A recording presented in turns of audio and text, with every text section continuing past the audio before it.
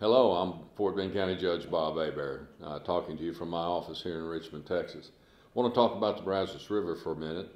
We're getting a lot of phone calls here. People driving over the bridges are looking at that river and it's getting big again.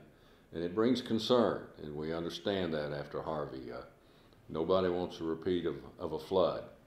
Uh, the good news is uh, the Weather Bureau doesn't anticipate any flooding in the Brazos River. The river, as of oh, 55 minutes ago, was at 39.7 feet. It's expected to rise uh, through uh, the afternoon Thursday to about 40.4 feet. That's four and a half feet below the minimum flood stage for the river. So we're well within the banks of the river. Uh, shortly after that, uh, Thursday evening, it will start to gradually decline and continue to decline through the forecasted period of dry weather we have coming later in the week.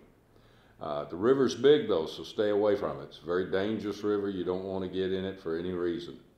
Uh, if you're worried about the river after this, uh, uh realize that we will send out bulletins if anything changes in the forecast.